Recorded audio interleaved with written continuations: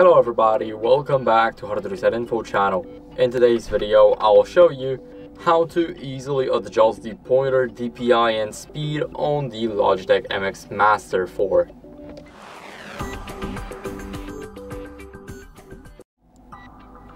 So first, as you guys can see, we have the mouse right here in the Logi Options Plus app. So let's go over and click on it. We have the MX Master 4 and now we need to go over to point, scroll and press.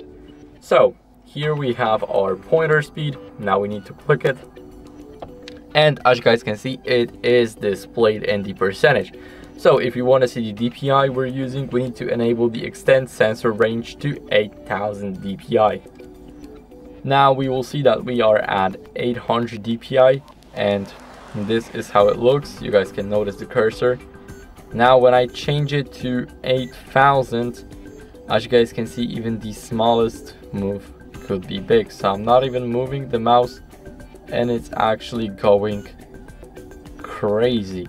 So now we have to carefully aim here and this is how it looks like at the 200 dpi it's much slower and much more precise but i prefer using either 800 or 1000 200 so it is also good.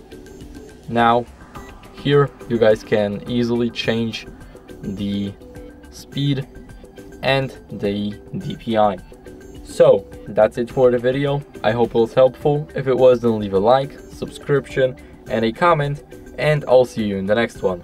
Bye